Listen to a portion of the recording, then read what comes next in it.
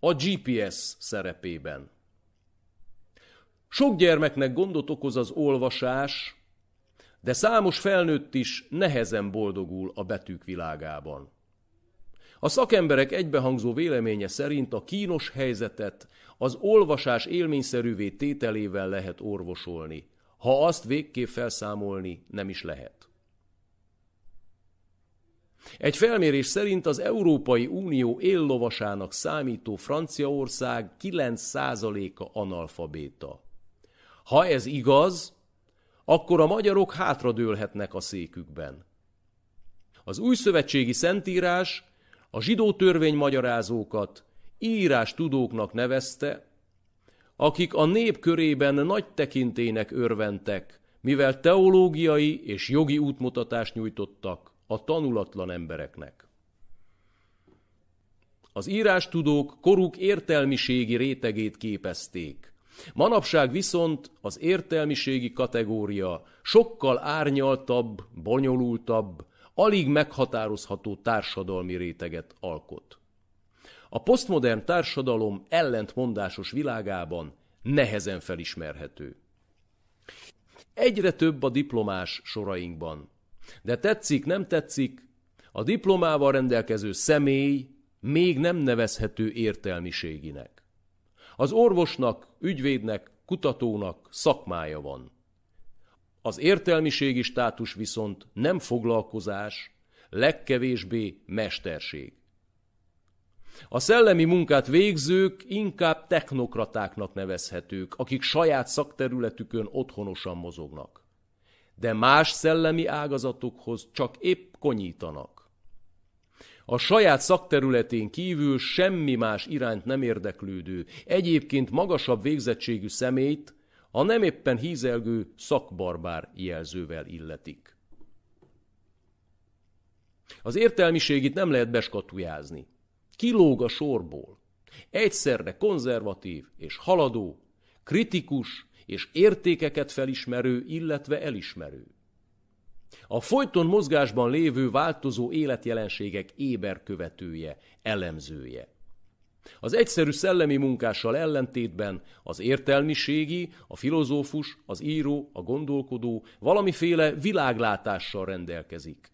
És a kívülállóban azt a benyomást kelti, hogy több az esze, mint amennyivel valójában rendelkezik.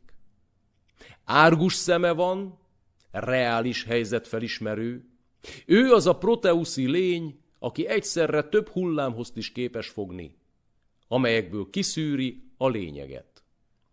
Az értelmiségi nem politizál.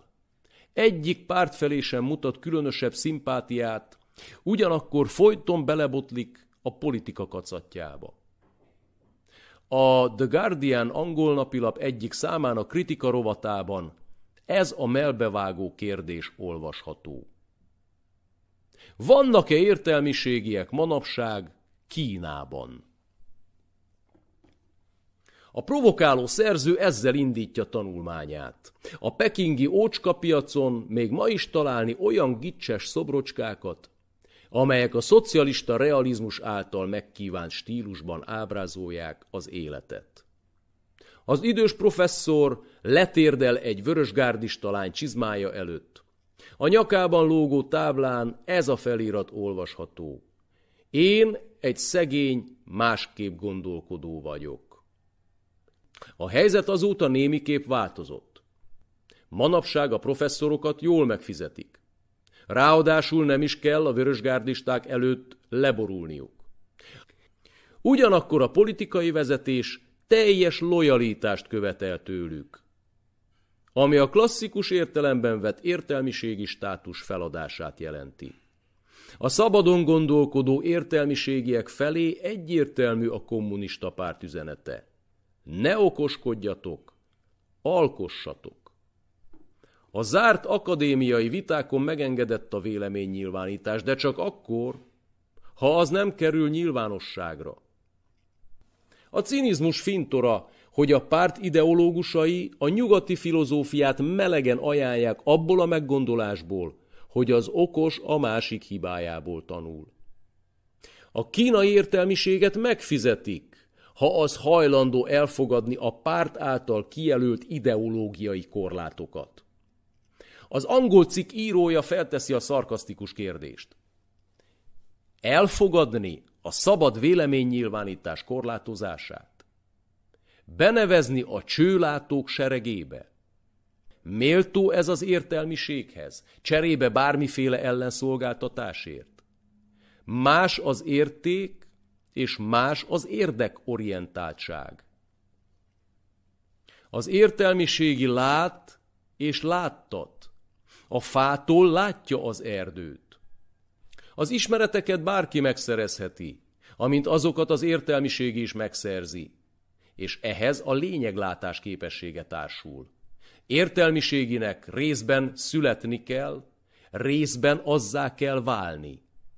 Babics írja, Szabadság csillaga volt hajdan a magyar, de ma már maga sem tudja, mit akar. Az értelmiségi tudja, látja az irányt, ezért nélkülözhetetlen.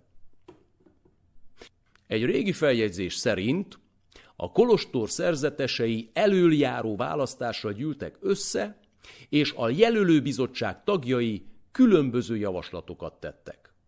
Egyesek szentéletű társukat ajánlották, mire a korelnök megjegyezte. Ha szent, imádkozzék értünk. Mások nagy tudású társukra tettek javaslatot. Ha tudós, tanítson minket, hangzott a szentencia. Közösségünkben van egy testvér, jegyezte meg egyikük, aki nem viszi túlzásba az imádságot, és tudása is kívánni valót hagy maga után, de éles eszű, nagyszerű meglátásai vannak. A korelnök gondolkodás nélkül rávágta. Ez bölcs. Ő legyen az elöljáró. Ő vezessen, irányítson.